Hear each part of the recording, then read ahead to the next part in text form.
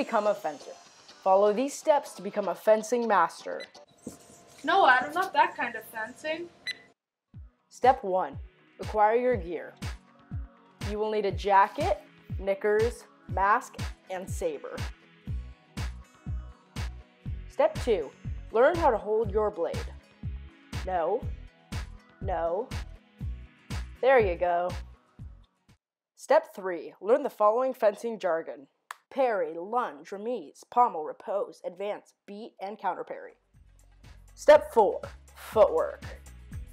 Advance, retreat, lunge, and on guard. Step 5. Practice.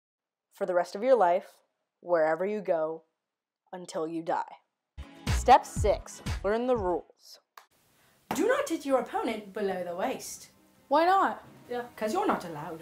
Why? You just can't. Why? You just can't.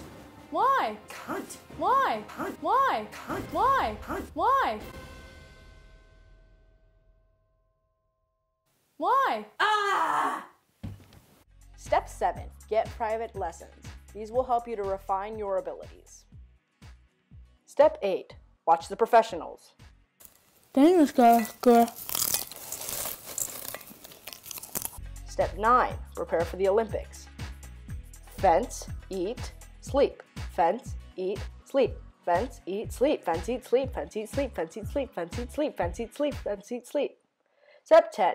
Go to the Olympics. Your hard work and training has finally paid off. Oh,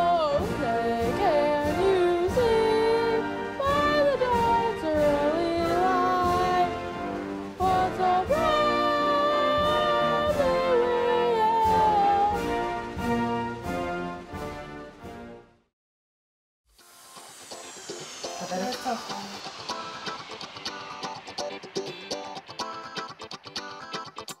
What you say? Ready? Go.